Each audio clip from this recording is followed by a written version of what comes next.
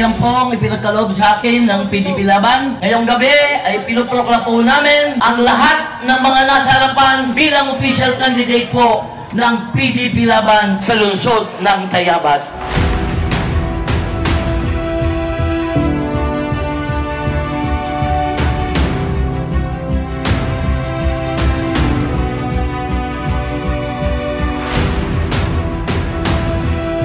Dahil kapag nag-aral ang mamamayan na basic foundation ng isang komunidad, may pag-asang magkahanap buhay, may pag-asang magkalaman ng bulsa.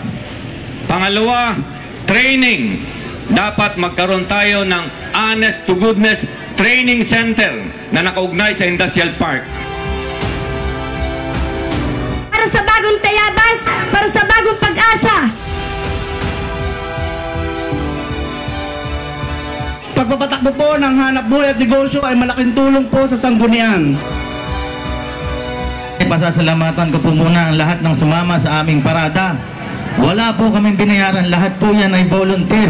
Kusang loob po. Kaya marami pong salamat sa inyong lahat. Palakpakan po natin ang ating mga sarili. Ang Malagonlong Bridge, yan po, it's a history. Longest bridge during the Spanish time. Pero nung itsura ngayon, kugunan. Samantalang linisin mo lang yan, presto, meron ka ng park and picnic area. Lagyan mo ng maliit na pasalubong center, coffee shop, at inganyuhin mong Knights of Columbus, lagyan na ng headquarters ng design ay malakas tila at meron na tayong tourist attraction. Kaya naniniwala po ako na ako'y kapiling po sa mga PWD pero person with dignity.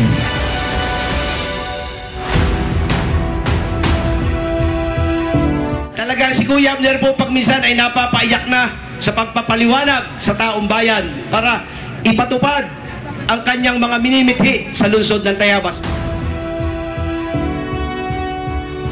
Marami at naririnig natin yan at nakita ko yung hagdanan na merong tunnel na nagkukonek sa sanktuaryo at sa basilika. Subalit anong ginawa ng mga nakaraang administrasyon? Pinagminahan, treasure hunting sa silungan, saka sa komunidad, hanggang simbahan. Dapat i-refer na yan sa Historical Commission nang malaman ng katotohanan. At pag yan nabuksan at na-restore natin ang tunnel na yan, baka magsawa kayo sa turistang dadayo sa ating bayan.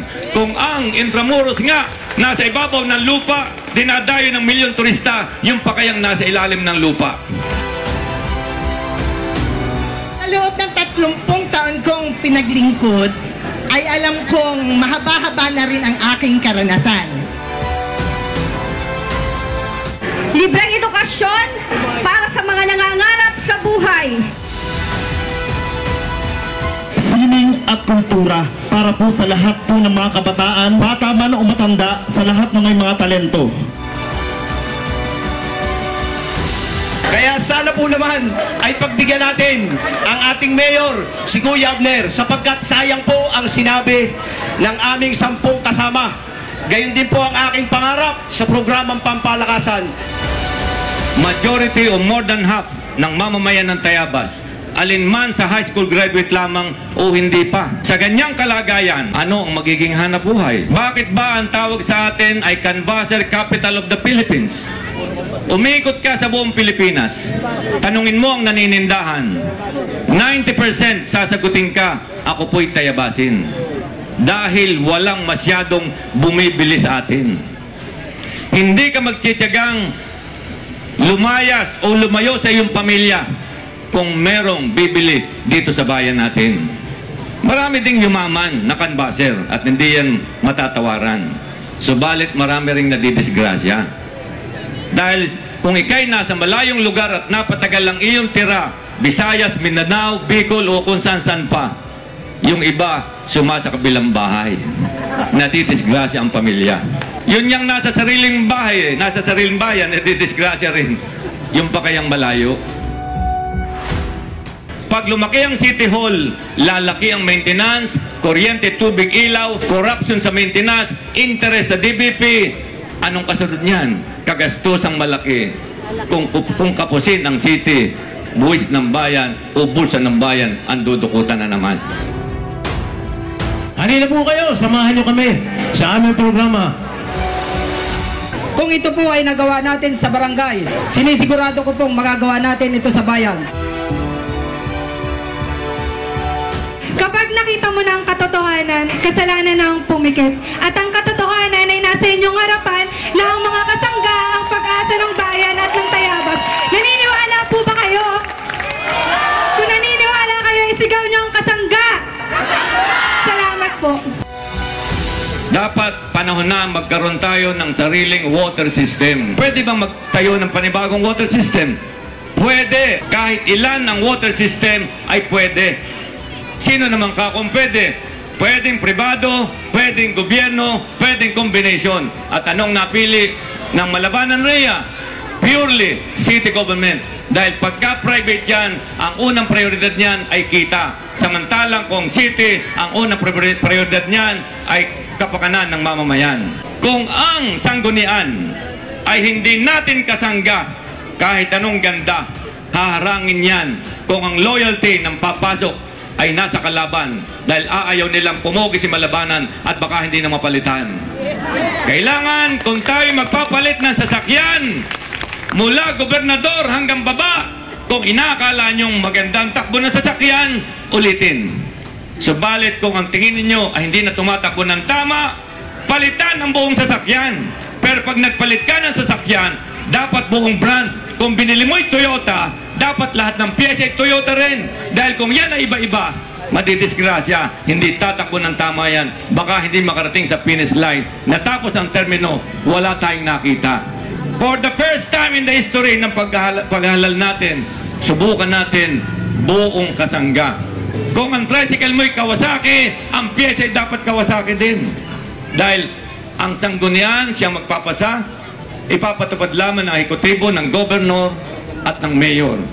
At kung hindi, si Vice Governor Malete at mga bukalis na kasama, madidisgrasya ang programa ng pamalang panlalawigan. Ganon din ang lungsod ng Tayabas. Kailangan buong kasangga. Hindi pwedeng kumpare, kaibigan, kumare, kamag-aral, para tayo naghahanap ng mapapangsawa ng ating anak. Sino ba ang pakakasalan nyo sa amin kung manliligaw sa inyong anak?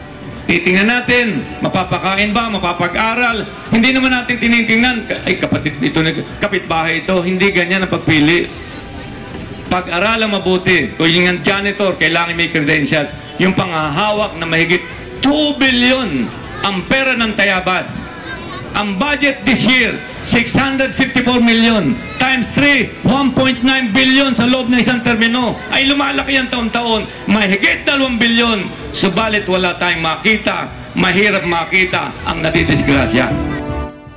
Ngayon po, kami ay magkasama ni Kuya Abner na ako po ay naghahanap din ng tunay na kausap, tunay na makakasama para sa kaunlaran ng Tayabas. Mabuti na lamang na natiling matatag, na natiling may isang salita, simula nung kami magkausap pagkatapos ng halalan ng 2016, hindi na bago, tunay na lalaki, inalok ng 800,000, hindi niya tinanggap at hindi niya pinansin. Normally, pag inalok ka, magpapasusot ka. Sabihin mo, Kuya Abner, paano kaya yan? Inooperan ako. Hindi ko siya naringgan. Naalaman ko pa sa ibang tao yan. Ang halalan, alam natin, kakaiba po ang halalan ngayon. Noong araw, ang bilihan ng boto, tuwing halalan lamang. Ngayon, filing pa lang ng candidacy, bilihan na ng kandidato, muntik na akong maubusan. Kailangan lahat ng gagawin ng pamahalaan ay yung dadaloy at babalik sa ating kabuhayan. At ang mayor, si Mayor Malabanan, sigurado ko po sa inyo, mabilis ang pag-unlad. Eh bakit hindi magiging mabilis? May pondo ang gobernador, may pondo ang congressman, may pondo ang, uh, ang syudad. Pero kapag hindi kinaya ni Mayor Malabanan, ang napakagandang proyekto dahil kukulangan ng pondo, magsasabi sa akin si Mayor Malabanan, 100% hindi ko hihiyain si Mayor Malabanan. Sabi ko, Manong Nick, ang kaunlaran ay hindi nakikita. Yan ay nararamdaman. Dapat daw bawasan ng korupsyon. Ang sagot ko, parang mali po yan. Dapat tanggalin ang korupsyon.